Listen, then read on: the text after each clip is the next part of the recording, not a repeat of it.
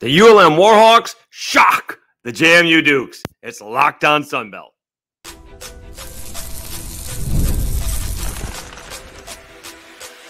You are a Locked On Sunbelt, your daily podcast on the Sunbelt Conference, part of the Locked On Podcast Network. Your team every day. All right, Dave Schultz, Locked On Sunbelt, your team every day. Today's episode is brought to you by Game Time camera here a little bit, or the computer, as it turns out to be. Download the Game Time app, create an account, and use code Locked On College for twenty dollars off your first purchase. All right, uh, we will go over all the games. Not many, right? There were six total with Georgia State and Georgia Southern off, and Texas State uh, beat Troy on uh, Thursday. So only five games to go over, so we can go in depth on a lot of them, and then I'm going to go off on a tangent on game management at the end. But what a huge victory for ULM to defeat uh, JMU. I didn't think they were going to do it. Be honest with you, I didn't think that they would score 21 points. I mean, I thought it would really be kind of a 37 to 10 ball game, 34 13. I did tell somebody at work that I was going to actually bet on JMU, and it certainly looked like that was going to be a good bet when it started off with a touchdown on their first possession and then Aidan Armenta throwing an interception. Uh, and yet that's where the game changed because ULM holds JMU to a field goal and making it 10 nothing instead of 14 nothing, the Monroe defense then started clamping down. And I don't think we can undersell the job that it did on uh, that it did on Alonza uh, Barnett uh, the third. He has been spectacular this year certainly the last couple of ball games, responsible for 13 touchdowns. Uh, he had five passing touchdowns against Carolina. He had five passing touchdowns against Ball State. He ran it in a few times. So he had 13 touchdowns in his last two games. He was responsible for one rushing touchdown in this game. He's had a fantastic couple of weeks, not so much against that ULM defense. He was under pressure all night long kind of pedestrian numbers 20 out of uh, 47, 251 yards, uh, no touchdowns or interceptions in the air. Again, he did. Let's see what he ran for. Um, see if we can find that out quickly. Uh, he did run for, he did run for a touchdown, 15 carries, 49 yards. But remember, that has a lot to do with the sacks uh, as well. And then all of a sudden, ULM just started uh, chipping away chipping away and chipping away, and they got back uh, in uh, the ball game. Uh, they did get Ahmad Hardy with a nice 38 yard run to jumpstart the comeback, but even that was late in the second quarter. There was less than six minutes to go. So, you know, they did not score for more than one and a half quarters, and yet they were still only trailing 10 nothing. Hardy's touchdown made it 10 to 7. And then really really probably it's got to be the turning point of, of the game where ULM's defense holds JMU, but we're muffing a punt. All right. A lot of people don't think you should be fielding punts, but when you're running full speed, you should definitely not be fielding a punt. I will say on a side note, if he catches the punt, he may have a lot of room because I'm not sure there was anybody on that sideline uh, for JMU. Nonetheless, don't muff the punt.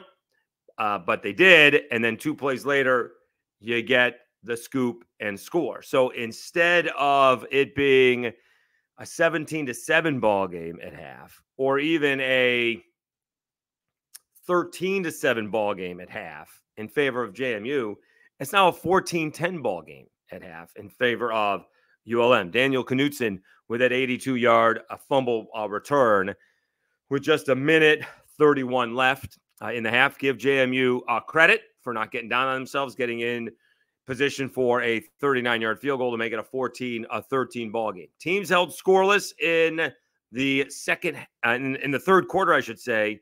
But the big one was really coming out to begin the second half, and ULM gets the ball to begin the second half. They go seven plays and out, but then they held JMU to five plays and out, and that was uh, big. All right. That is uh, the big one because JMU thinks they got a little bit of momentum, right? They get the field goal, they get a stop, they're going to go down and take the lead, and they didn't. Uh, and then, you know, eventually ULM gets that touchdown to go up 21 uh, 13. JMU responds, pulls within two, has to go for two, uh, and comes up empty. And then uh, almost another turning point in the game. Armenta with a shovel pass to a running back who was not ready for it. And thank goodness, if you're from ULM, for instant replay, because it appeared that JMU, in fact, it was called an interception on the field. And you, you honestly had to really slow it down to see that the ball hit the ground. You can understand why that play, right? I'm I don't like complaining too much about the officiating, but I do. Um, but you can see why on that play it was called an interception. Uh, but it was overturned, and eventually ULM, you know, punts it away with very little time remaining, and you know, JMU not really going down the field, right? Well, what do I care if you throw an interception with like you know 40 seconds left or whatever it was, 30 seconds left? I mean, you got to go downfield. The little five yard out ain't helping. You know, we're not dumping it off right now. We're not coming back. We don't really care about second down at this point in time, right? There's not three minutes left. When did they get the ball back? And this kind of goes into my they got the ball back with 33 seconds left. This got to go back to game management. I just I don't understand some of these things. You know when you're supposed to force it when when you need a field goal and 33 seconds left and you're inside your 10 yard line, you're at the 14 yard line. That's when you force it. All right. I, you know, we'll get to second down. No, I don't care. You throw an interception at that point in time down the field, you throw an interception. You got to try and make a play. Uh, so I don't understand five yards and outs. Uh, really great job by Bryant Vincent and his coaching staff. Uh, that's a huge win. They are four and one. They do not make it look pretty. Don't make any, you know, bones about it. Right? Um, we say this all the time. It's not gymnastics. It's not um, boxing. It's not diving, right? We're not being judged. We, we are ranked sometimes when that's the case, but you know, win is a win, and ULM does it with defense. Uh, they put up enough points in this one, which I didn't think they were going to do, uh, and they come away with apparently their biggest game since the bowl game in 2012. First time they're four and one since 1993. I'm getting you know text messages from higher ups over at ULM already looking forward to the Louisiana matchup, which could be daunting. And oh my goodness, we could have a huge crowd for that one if those two are in a collision course uh, for the Sun Belt West Championship. Uh, here's the first step, though. Can't take your foot off the pedal. They have Southern Miss at home, and although Southern Miss played okay against the Cajuns, uh, especially on defense, um, you can't you can't have a letdown, right? And that's easily a letdown game, right? What Southern Miss one and four, one and five, one and four, and you know they're four and one, and JMU was four and zero. Oh. We're gonna beat them in our sleep. Yeah, don't do that. do not do that. All right, don't mess around here because ULM has a shot at what might be a special season. Um, quickly going over these the schedules, right? This is not the toughest of all schedules. Um, uh, they get Southern Miss at home, then they're at South Alabama, and we still don't know about South Alabama. We'll get to them later. They're at Marshall. Uh, I'm not sure we know about Marshall either, but they had a nice win over App State. They get Texas State at home. That's huge. That's November 9th. Then what could be a very interesting ball game. Who knows where they'll be at that time? They're actually going to the Auburn Tigers. Auburn will be favored. By how much, I don't know. Because Auburn's not very good at all. They are on the road at Arkansas State, and then they host the Cajuns uh, to wrap it up a couple of days after Thanksgiving. So uh, there's a ton of football left to play. They're having a sensational start to the season. Uh, it could even get better. They should be five and one with a win over Southern uh, Southern Miss and three and zero oh in the Sun Belt. Then they go to South Alabama and then they host Texas State. Huge, huge football down the stretch for uh, for ULM. And congratulations to the Warhawks. Did see attendance. Someone said it was 20,000. Unfortunately, kind of like when you're seeing games at the old Cajun field, if you will, you're looking across and you're not seeing a whole lot of people there. Sometimes when the students are there, it fills up a corner of the stadium. Um, I guess all the fans were on the Warhawk side, but it would be nice to see a relatively full uh, Malone House of Pain Stadium this weekend against Southern Miss. All right, let's take a timeout. We'll come back. We got to do, well, we're going to do Cajuns, Marshall, and Coastal coming up uh, next. We'll wrap it up with Arkansas State and that game management, which I am still confused over. Uh, but we will do that next, right after I tell you about LinkedIn jobs.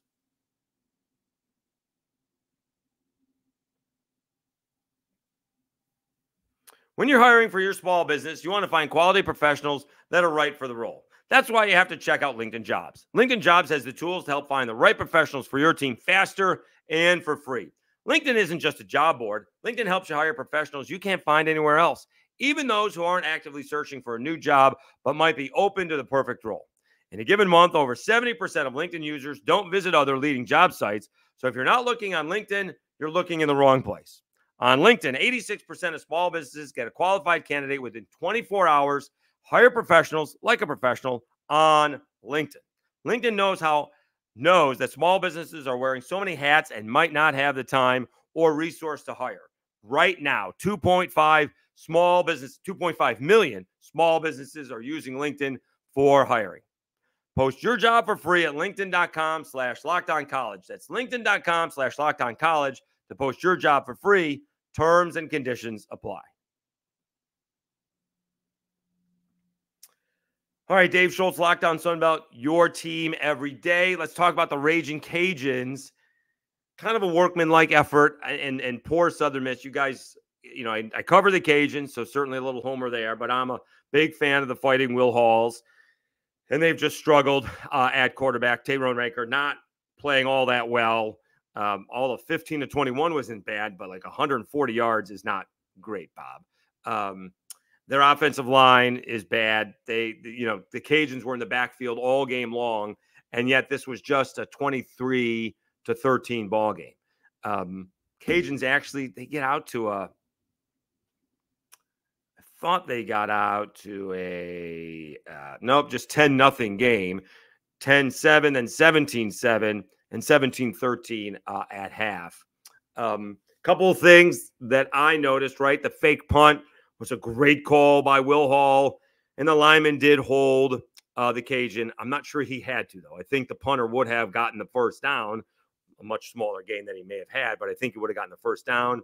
And then later on, like shortly thereafter, there was a holding on the Cajuns. They basically tackled the running back coming out of the backfield and no call there. And that's what Will Hall was flipping out about. Um, you know, some good play calls that just were one wasn't executed properly and one was not called uh, as it should have been.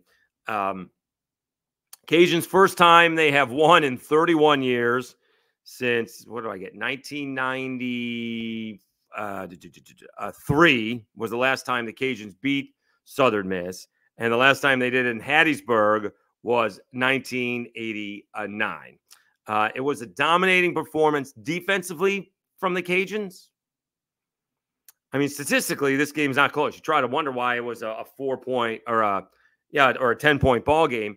Cajuns had 410 yards to 177. The Cajuns rushed for 188 yards. Southern Miss had 177 total, and Southern Miss had a turnover, although that was at the end of the ball game. That was at the end of the game. Uh, Cajuns held the ball 41 35 to 18 25. So I don't really know how this game was not as nearly as much as a blowout uh, as it probably should have been, the way those stats uh, line up. But somewhere along the way, I guess the Cajuns were satisfied with just running the football and uh, playing defense. Although I think they, to be honest with you, you should have run it more. And I can't stand throwing it down the line of scrimmage I can't stand throwing it 15 yards across the field and hoping someone misses your guy. If you want to do a swing pass where you're going to get at least four or five yards, that's one thing. Uh, but when you're on one hash and you're throwing it beyond the other hash towards the other sideline, I, I, I don't like that play call at all. And they do a lot of that. Um, we'll get to the game management uh, in a little bit. But the Cajuns with a win, uh, they're four and one. They are two and zero oh in the Sun Belt. No, I don't have that right. They're one and zero oh in the Sun Belt, uh, and they get App State at home. And I believe, uh, as you know, Cajuns do, and I'm here talking about the people rather than the school. uh, the Cajuns will come together and end up making a huge donation and help out everybody in uh, in Boone, North Carolina, as many people as they can, because that's what the Cajun Nation does. All right, they will make sure that they are taken care of um, with either supplies or or finances. Uh, I know UL, the school, is going to do as much as they can to help make awareness, and um, they'll probably present some sort of check uh, at the ball game. Uh, all right, Dave Schultz, Locked On Sunbelt, your team every day. I also need to say this. I'll say this. All right. If the Cajuns are going to go in and beat Texas State, heck, if the Cajuns are going to go into Monroe and beat ULM, they're going to have to play better. All right. That was not the best effort from the Cajuns. I'll say the same thing that I said about Texas State. It was a little bit uneven. Although those stats show a different story, um, they did not dominate on the scoreboard as they should have. All right. And again, some of that play calling is uh, really interesting. All right. Um, but the Cajuns come away with a win. Uh, again, it's not gymnastics, it's not diving, uh, but um, they need to play better if they're going to win uh, the West. All right, Dave Schultz, Locked On Sunbelt, your team uh, every day. Uh, Marshall with an interesting 52 37 win. Uh, Stone Earle was supposed to be the quarterback for Marshall, but it was Braylon Braxton, and they just kind of ran the football. Although Braylon Braxton had a pretty good day passing, he was eight out of 14. He completed eight passes for 129 yards. What did I say? Um, Tate Rodemaker completed 15 passes for like 140 yards, something like that, right? so he, uh, you know, Braylon played okay and scored and threw for three touchdowns uh, in the air. He also ran it 15 times for 140 yards and uh, two touchdowns. That was the big thing is that um, Charles Huff kind of threw a curveball to everybody, told him Stone Earle was going to start and then didn't. Uh, Braylon Braxton was told either Thursday or Friday that he was going to start. And Charles Huff said, I just wanted to throw a curveball. And I don't know if it worked or not. I mean, somewhere along the way, you got to make the adjustments, right? It's once the guy comes out and plays, you know, you got to adjust. And App State did not adjust. And, you know, offensively, App was okay, but they were behind all game long. Joey Aguilar, uh, 26 of 44, 293, two touchdowns, and two interceptions. Maybe, just maybe, Marshall has turned things around. All right. Uh, AJ Turner, 12 carries, 65 yards. Jordan Houston, six carries, 35 yards. Uh, Jordan Houston also had one reception uh, for 75 yards and a touchdown. Chuck Montgomery, uh, two catches and a touchdown. In fact, Marshall threw it to one, two, three, four, five, six, seven different receivers. Only Chuck Montgomery had more than one catch, and that was two. Uh, Cade Robinson, a good ball game for App State, eight catches, 94 yards, but it was Dalton Stroman with the two touchdown uh, receptions. Um, they they couldn't run it because they were behind most of the ball game. They did run it for 180 yards and scored uh, three touchdowns. Ahmani Marshall had the two scores. App State heading in the wrong direction. Now they get the Cajuns. Um, I understand things are improving slightly in lovely Boone, North Carolina, and one day again it will be lovely uh, Boone, North Carolina.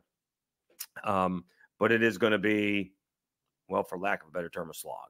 It's it's it's going to be um, a long is that a word long slog is that right um, for for things to get back to any kind of normalcy on a regular basis but i heard some power was back um, internet was back um, unfortunately they probably watched the game those people who got the internet and the power back but i was telling somebody who's a big fan and a um, regular watcher you know you're going to sit there and not like a play call or a bad call against app state and you're going to get mad about it and you're going to be like ooh that actually felt pretty good because otherwise I'm dealing with this and that stinks. Uh, all right. So we ran long in this segment. We'll do um, Arkansas State and Coastal in the last segment, and then we'll see if we can get to game management because I'll be the first to tell you I don't quite understand it. All right. Let's take a time out when we come back. We'll talk about Arkansas State's win over South Alabama, Coastal Carolina's win over Old Dominion, uh, and we'll see if we can get into game management. If not, we'll do that in another uh, episode later on in the week. Let me tell you about game time.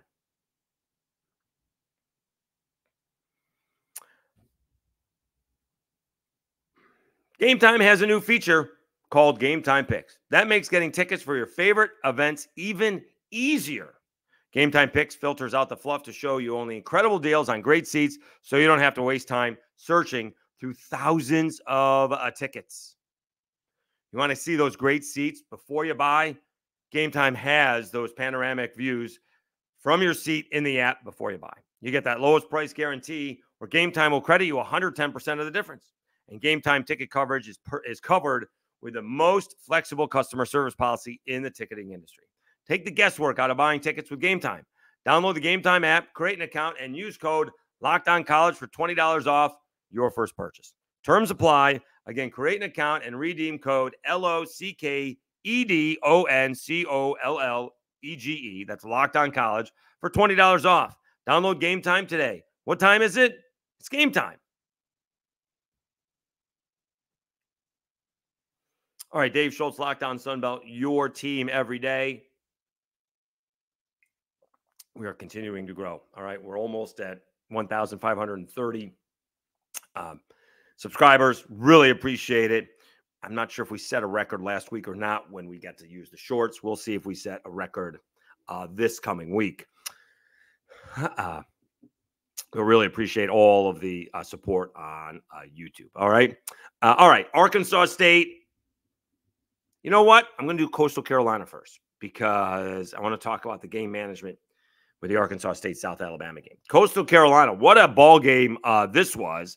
ODU, I'll say Coastal Carolina wins 45 uh, 37, but ODU led this ball game 17 to 7 and then found themselves trailing 35 17. That's, let's see here. My understanding is that there would be no math, but that's 28 unanswered points for Coastal Carolina. Ouch. All right. So ODU scores a touchdown, makes it 17 to 7.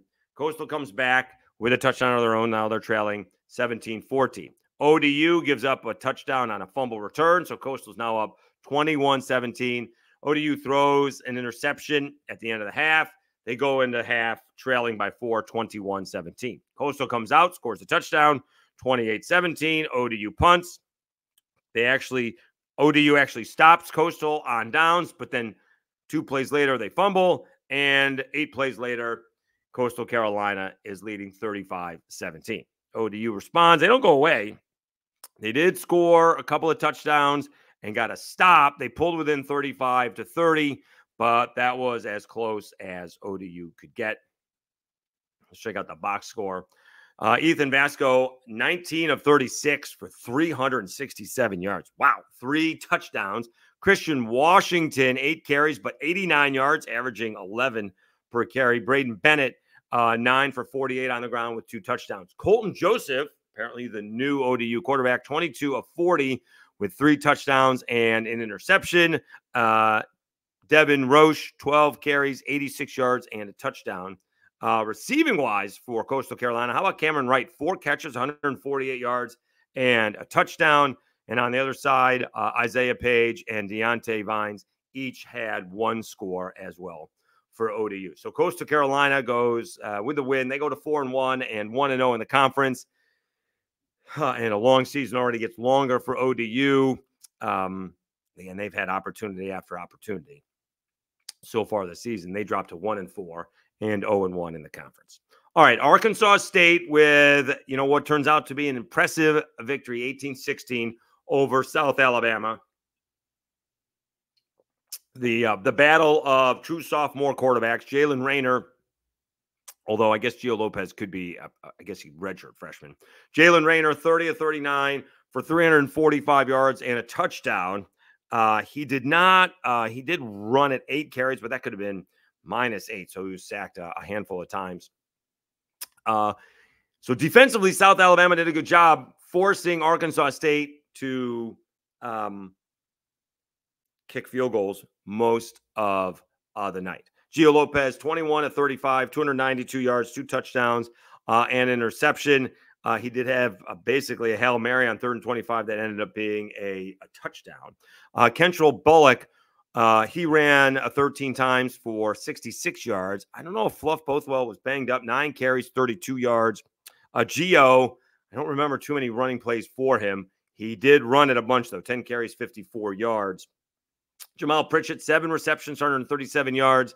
On the other side, Corey Rucker, eight catches for 172 yards. Arkansas State did not run it uh, very much. They ran it 30, or didn't run effectively. They ran it 30 times and only had 66 yards. All right. So that's a big win for Arkansas State. They go to three and two, one and zero oh in the conference. South Alabama, two and four. They are one and one in the conference. And this is where I want to talk about game management. And I will concede uh, some things here uh, because it's at the end of the ball game, and the the, the Cajuns, South Alabama is trailing ten uh, to nine. About six minutes left to go when the Jaguars get the ball. Okay. They get a couple of big plays. Uh, Gio Lopez, a completion to Jemiah Webb, 38 yards to the Arkansas State first down, but that's 522 to go. That's like on the second play of that drive. Um, but they end up getting a um, dump off pass to Bothwell for 12 yards, does run over a couple of guys, and it's Arkansas at the Arkansas State 11. So it's first and 10 at the Arkansas State 11 yard line. There's 210 to go.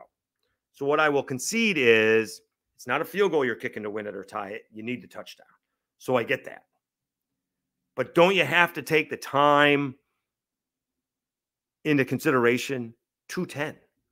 I have two minutes and 10 seconds. I can actually get a first down and maybe run more time off the clock. I don't know how likely that is. We used to do that way back when and in television. I used to stop at the 11 or 12 yard line. So just in case I could get myself a first down if I couldn't get into the end zone way before Madden or Tecmo Bowl for that fact of the matter. Uh, I'm not expecting them to get a first down, but I got 210. I'm passing it on first down. Doesn't take any time off the clock. The clock's going to stop at the two minute warning, anyways. So why not run the football and take some time off the clock? All right. Although in this case, it would only be 10 seconds. Uh, let's see where we are. Next play Gio Lopez, incompletion at uh, the two minute, 10 second. South Alabama penalty on second and 10. It goes false start. Now it's to the 16. All right. On second and 15, when you're kind of stuck, I get it. Gio Lopez pass incomplete. All right. So now, if you want to bet this one, they had first and 10 at the Arkansas State 11 with 210 left to go. They're snapping the ball with 203 on third down. Again, why is the clock not being taken into consideration? I don't even think the Cajuns, when they beat Wake, did a great job, but they were aware of it a little bit. On the first two plays, they sort of telegraphed we're going to run it up the middle. If we break one, great, but we're just trying to get a couple of yards, if anything. And then Ben Wooldridge, which was effective against Southern Miss one time with the bootleg, he tried to run a bootleg against Wake and it didn't work because they were going to try and kick that field goal um, with time winding down. Now it ends up Wake Forest doinks one off the upright, so people may not remember it, but you got to take game management, especially in its tie ball game, into consideration.